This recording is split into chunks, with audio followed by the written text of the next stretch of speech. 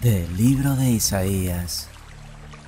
Mi Señor me ha dado una lengua de iniciado para saber decir al abatido una palabra de aliento. Cada mañana me espabila el oído para que escuche como los iniciados. El Señor me abrió el oído, yo no resistí ni me eché atrás.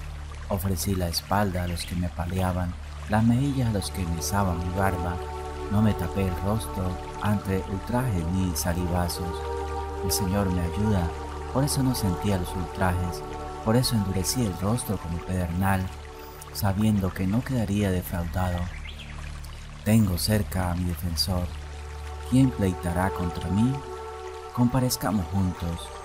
¿Quién tiene algo contra mí que se me acerque? Mirad al Señor me ayuda.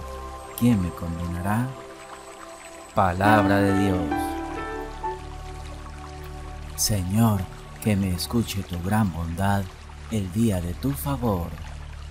Por ti he aguantado afrenta las vergüenzas cubrió mi rostro.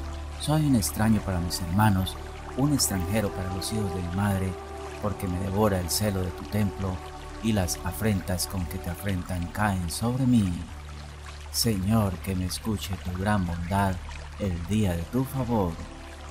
La afrenta me destroza el corazón y desfallezco.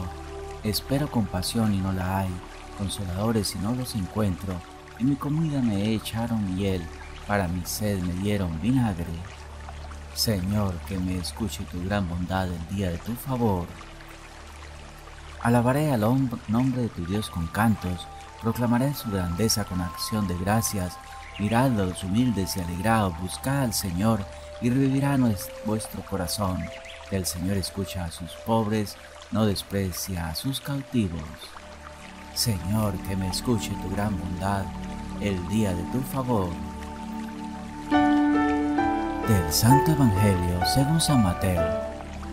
En aquel tiempo, uno de los doce llamado Judas Iscariote a los sumos sacerdotes y les propuso, ¿qué estáis dispuestos a darme si os lo entrego? Ellos se ajustaron con él en treinta monedas y desde entonces andaba buscando ocasión propicia para entregarlo. El primer día los ácimos se acercaron los discípulos a Jesús y le preguntaron, ¿Dónde quieres que te preparemos la cena de Pascua? Él contestó, Ir a la ciudad, a casa de fulano, y decirle, el maestro dice, mi momento está cerca, deseo celebrar la Pascua en tu casa con mis discípulos. Los discípulos cumplieron las instrucciones de Jesús y prepararon la Pascua. Al atardecer se puso la mesa con los doce. Mientras comían, dice, os aseguro que uno de vosotros me va a entregar. Ellos consternados se pusieron a preguntarse uno tras otro, ¿soy yo acaso, Señor? Él respondió, el que ha mojado en la misma fuente que yo, ese me va a entregar.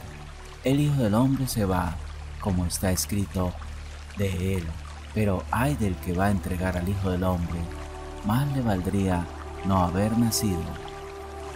Entonces preguntó Judas, el que lo iba a entregar, ¿Soy yo acaso maestro? Él respondió, Tú lo has dicho. Palabra del Señor. El Evangelio muestra con claridad esta libertad mayúscula de que gozamos. Tenemos en primer lugar una palabra libre ante Dios, nuestra palabra tiene consistencia delante de Cristo, incluso cuando es palabra blasfema envenenada.